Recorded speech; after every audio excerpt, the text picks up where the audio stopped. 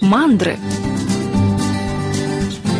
Королівський арсенал на вулиці Підвальній, 13. Міський архів. Королівським арсенал назвали тому, що значну частину коштів на його побудову у 1639 році надав король Владислав IV. Інша назва споруди арсенал Речі Посполитої. Зведений на місці старого малого, арсенал використовувався як склад міської зброї і виконував свої безпосередні функції до 1768 року. В арсеналі були майстерні, де відливали гармати і церковні дзвони. У 1640 році тут уже було 46 гармат. Королівський арсенал, як і належить, був прибудований до високого муру і входив до системи укріплень. У разі штурму він ставав пасткою для тих, хто увірветься у двір, бо кожна точка подвір'я прострілюється з вікон. Будинок зведено з каменю як фортифікаційну споруду.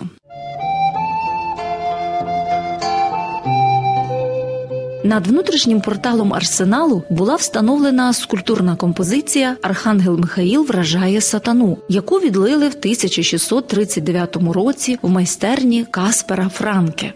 У 1704 році вона була пошкоджена шведським ядром. У 1821 році скульптуру перекинув вітер, і при падінні вона суттєво постраждала. Після реставрації цю скульптурну групу поставили на гетьманських валах, але позолочені крила архангела були підступно обламані невідомими, мабуть, посланцями враженого сатани. Тоді скульптуру забрали. Тривалий час вона лежала на складах, а сьогодні зберігається в музеї зброї Арсенал.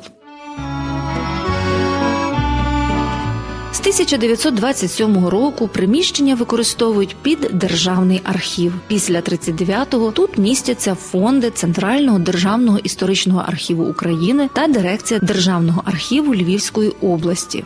У Львові з південно-західної сторони є ще одна збережена будівля арсеналу на вулиці Бібліотечній, 2, який є однолітком королівського і носив ім'я Арсенал Сенявських. Львів умів оборонятись про що свідчить сьогодні будівля королівського арсеналу на вулиці Підвальній, 13. То було, то було, то було